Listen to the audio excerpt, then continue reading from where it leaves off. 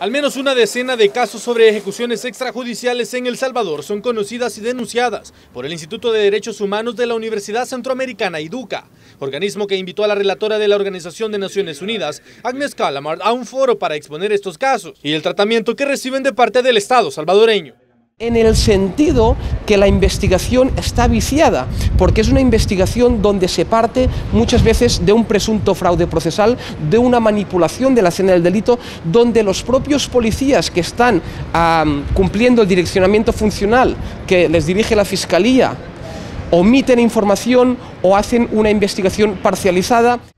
Se trata de supuestos enfrentamientos entre pandilleros y elementos de seguridad, en los que según el IDUCA son asesinatos que no se investigan o se oculta información de parte de las autoridades. Agnes Calamar, como relatora especial sobre ejecución extrajudicial de la ONU, manifestó preocupación ante la militarización de países para reforzar tareas de seguridad, como en caso de El Salvador.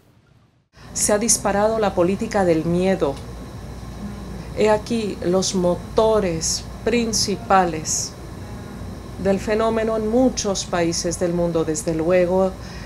en Europa, en América del Norte, asimismo en muchos otros sitios a los que yo he viajado la relatora también se refirió a casos de mujeres que mueren por abortos y asesinatos contra personas de la comunidad LGTBI, en las que señaló también habría responsabilidad del Estado por no garantizar que se cumplan sus derechos. Calamar estará en el país hasta el próximo 5 de febrero, día en el que publicará los resultados de su visita, que incluye además su presencia en centros penales y reuniones con todos los poderes del Estado. Este es un reporte de Néstor Hernández.